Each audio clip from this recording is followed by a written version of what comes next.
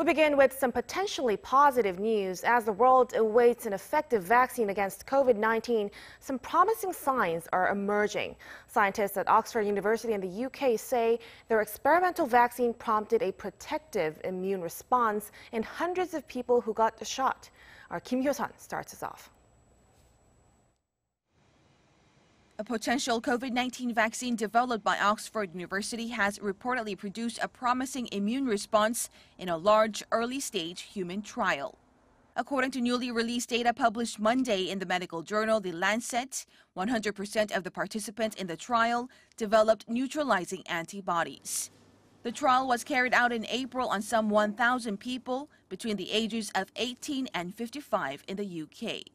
Researchers explained that the vaccine being jointly developed with pharmaceutical giant AstraZeneca also produced killer T cells that help patients combat the infection by attacking the infected cells. The World Health Organization welcomed the news but warned that there is a long road ahead.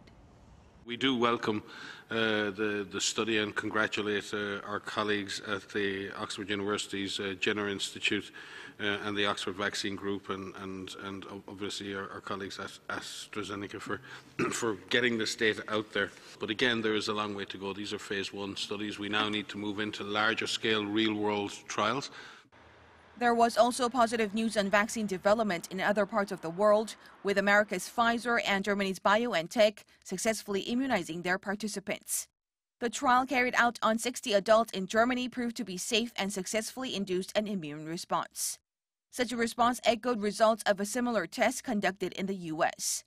Pfizer and BioNTech now plan to begin testing on some 30,000 volunteers this month to prove the efficacy of their vaccine.